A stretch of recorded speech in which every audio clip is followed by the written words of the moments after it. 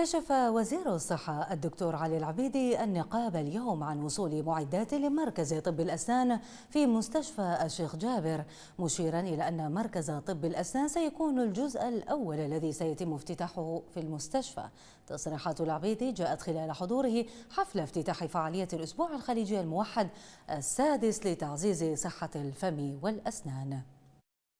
أكد وزير الصحة الدكتور علي العبيدي حرص الكويت على تقديم الخدمات الوقائية والعلاجية في مجال صحة الفم والأسنان ودعم خدمات طب الأسنان من خلال التوسع بالعيادات العامة والتخصصية وخلال كلمته في افتتاح فعاليات الأسبوع الخليجي الموحد السادس لتعزيز صحة الفم والأسنان. أكد العبيدي أن الاهتمام بطب الأسنان يتضح من خلال زيادة عدد عيادات طب الأسنان والكوادر العاملة فيها بالإضافة إلى استخدام أحدث التقنيات المستخدمة في هذا المجال.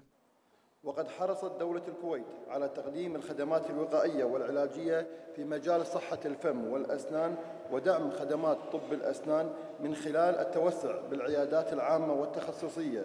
حيث بلغ عدد عيادات طب الأسنان 792 عيادة عام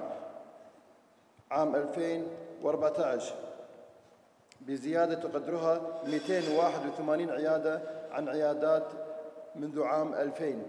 وعلى هامش الاحتفال كشف العبيدي النقاب عن وصول معدات مركز الأسنان التابع لمستشفى جابر والذي سيكون الجزء الأول الذي سيتم تشغيله من المستشفى. إذا ربنا إن شاء الله سهل وخذينا افتتاح جزئي لمستشفى جابر راح يكون بدايته مع طب الأسنان وفرنا جميع الأجهزة اللازمة لهذا المركز وصلت إلى الكويت آه، سوى أننا التنسيق الجاري بين آه، وزارة الأشغال ووزارة الصحة من أجل استلام المبدئي لطب الأسنان لمستشفى جابر. من جهتها قالت مديرة إدارة طب الأسنان الدكتورة صبيحة المطوع أن فعاليات الأسبوع الخليجي لهذا العام ستشمل جميع محافظات البلاد. وفي هذا العام ارتأت إدارة طب الأسنان أن تكون الاحتفالية بالأسبوع الخليجي في جميع محافظات دولة الكويت التي يغطيها ست برامج مدرسية بالإضافة إلى برنامج الكويت لصحة الفم والأسنان لذوي الاحتياجات الخاصة تحت شعار